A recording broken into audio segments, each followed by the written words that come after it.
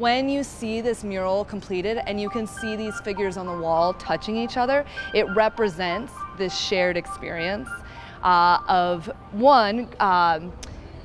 seeing and experiencing art together is what affirms our existence and it confirms our experience, right? So when we witness art and when we experience culture together, that's basically what ties us together and that's basically what uh, represents our experience. It manifests what it's like to be a human. So this particular project as well, having dancers touch each other, having dancers support each other, because a lot of the narrative that went into this piece was about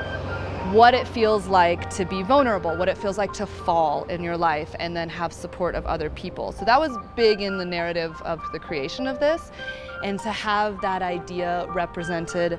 uh, through these dancers actually being able to physically support each other, to physically support me after I was injured and couldn't dance, uh, and then to have that support from the audience, I think it really confirms this idea that having an experience together, whether or not we're touching, is integral to how we basically mark our own existence and how we um,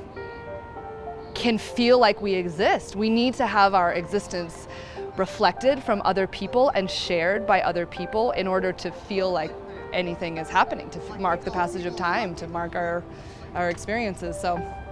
yeah, I think that that is, that was a beautiful thing about this. It's not just like a piece of art on the wall. It, it is visually about humans moving through life and it was that through its creation process as well, through the evolution of it and the performance element.